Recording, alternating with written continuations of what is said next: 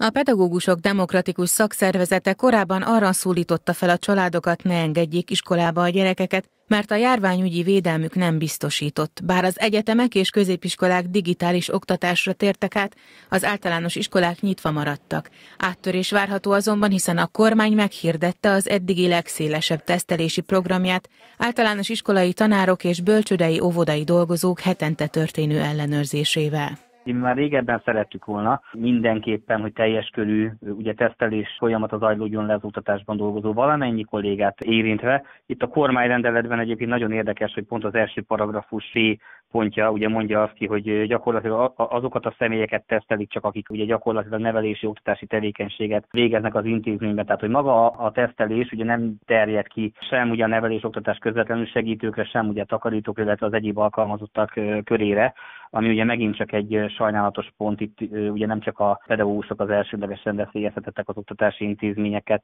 tekintve, illetve a másik, ami ugye sajnálatos, hogy ugye jelen pillanatban azért ebben a megjelent kormányrendeletben ugye az is benne van, hogy maga a vizsgálaton való részvétel is ugye egyfajta önkéntességet jelent csupán, tehát nem kötelező érvényű, a koronavírus.gov.hu először szeptember 21-én hozott nyilvánosságra adatokat az iskolai zárlatokról, akkor 177 osztályban rendeltek el digitális oktatást országosan, és összesen 15 teljes iskolában volt rendkívüli szünet vagy online oktatás.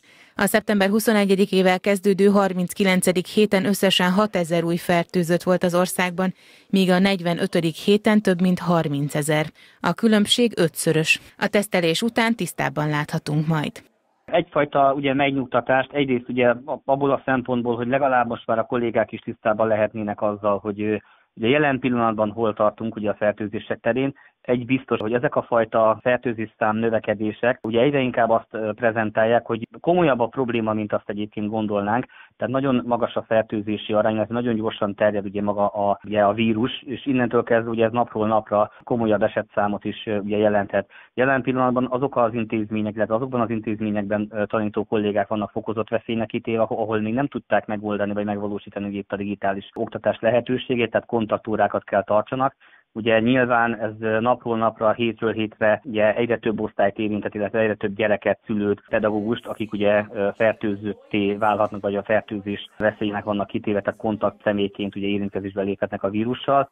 Jelenleg nem született döntés az általános iskolák és az óvodák bezárásáról. A kormány szerdán értékeli a helyzetet, és dönt az esetleges szigorításokról vagy a jelenlegi intézkedések meghosszabbításáról.